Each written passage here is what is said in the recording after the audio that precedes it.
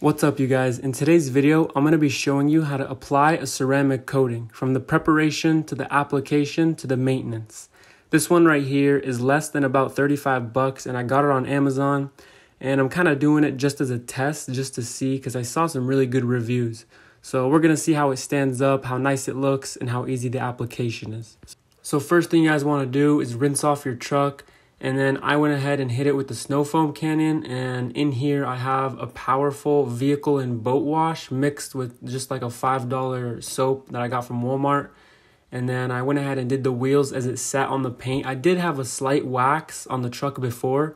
So that's why I wanted to use something powerful and let it sit. And then I'm going to hit it one more time, as you can see with the uh, snow foam and then I'm gonna go over the whole entire truck with the hand wash and then I'm gonna go one more time again with the snow foam just to make sure that there's nothing left on the truck. So the next step in preparation for your ceramic coating is to clay bar. So my truck is about five months old and it doesn't have that much, you know, um, gunk and all that stuff on it. So I'm doing it while the car is still wet and I'm still spraying a dilution of a company called Wolfgang. They have a really good clay bar and wash. So after I did that, I'm drying the car fully. And after the truck is fully dried, I want to go ahead and make sure that I get all the spots of where there's any swirl marks and light scratches. So because my truck doesn't have any deep scratches, I'm only using this polish from Chemical Guys. It works very well. And I'm also using this $20 uh, buffer that I got from Walmart. There's a lot better ones out there, but mine didn't have any severe scratches. So what you want to go ahead and do is just put a couple little dots uh, and then you can put a little more as needed. But as you put these dots, you want to just press it on the truck in different areas as I'm doing here. And then after you've spread it out enough, you want to go ahead and turn on the machine and only do a little section at a time, maybe two feet by two feet and then go back and forth and make sure you read your instructions because every instructions are different. And as you can see here, my instructions were continue to buff until the hazing is almost disappeared. But I don't think I put enough on this section. I went ahead and added more uh, after this, but you want to make sure you read your directions and follow them. This right here is a random rotator. Um, it's what they call it. It's not a circular one where it just goes in one motion. This one's just actually random circles, and this is better for your paint so you don't accidentally mar it or damage it. So now that the preparation is almost complete except for one last wipe down, which I'll go over soon, here's the unboxing of the 25 to $30 ceramic coating. So in the box, we're going to go ahead and see the instructions, which we'll go over in a bit, and then the actual bottle of the ceramic coating. So I thought this wasn't enough and I was going to order another one, but after seeing some reviews of people saying that, you know, it fit my whole truck, it was good enough. Um, I only went ahead and did one and it ended up being right. You only need one, uh, even if you have a big truck or anything like that. So uh, mine was completely empty at the end, but I did put it on the windows and also some trim. So this is good enough right here. And then this is the actual pad that you're going to be using and this is to buff off this little microfiber right here is going to be to buff off after you actually applied the ceramic coating. And then these are some black gloves. You always want to make sure you're wearing protection and you're in a well ventilated area. And then right here are the actual pads you're going to go ahead and put over that little foam brick. Now you always want to make sure you're going over the directions even if we already did everything just to double check. The only thing we didn't do is the isopropyl alcohol and we're actually doing that right now uh, you just want to dilute it about 1 to 10 and make sure you go over the whole car. This will make sure there's no contaminants or anything left over from the polisher or the clay bar.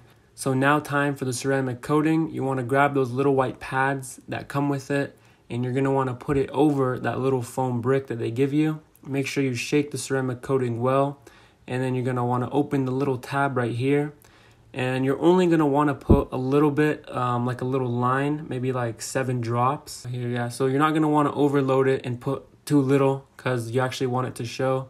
So that's the good amount right there. You want to make sure you close it just so nothing gets in the bottle or doesn't dry out as you're doing this. And then make sure you have your buffing towel ready. So after you apply it make sure you read the directions but this said um, it's not going to haze but it's going to show like a little rainbow. And uh, you'll notice when it's ready so you want to apply in a cross hatch pattern, which is up and down and actually side to side. So as you're seeing here, and don't you don't want to do big sections at a time. You want to do little sections so it has enough time to dry and you're not overloading it or putting too little product. So after you start to see that little rainbow effect or the hazing, you want to go ahead and buff it off and make sure you don't miss anything. I did it on a partly cloudy day and there was a little bit of sun out, so it didn't take too long for me. But as I'm even buffing it right now, I can totally tell the slickness from the left side of the hood to this side right here where I actually applied the coating. And the difference is a lot, a lot. Now I continue to do the whole car section by section and making sure to keep switching out the little white towel uh, every couple of minutes and also switching out my buffing towel. And it took me about, I'd say 30 minutes to complete the whole car. And now here is the finished product. So as you guys can see, this thing is super, super shiny and super reflective. It looks super nice, looks like a mirror and it's as smooth as glass. I'm loving the way it's looking, the way it feels and for only $25, I think this was an amazing deal. So on the bottle, it says it lasts a year or over a year with good maintenance, but I don't think it's to last that long.